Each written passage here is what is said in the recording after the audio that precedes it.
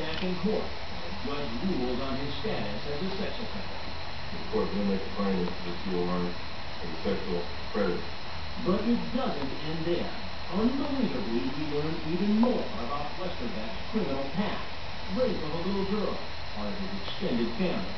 Sergeant David Atkins of the New Lebanon, Ohio Police Department took the report a year and a half ago. It was late at night, there was a thunderstorm.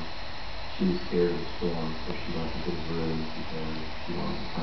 uh, an adult, and ultimately he pretty much violated that trust and confidence that he had.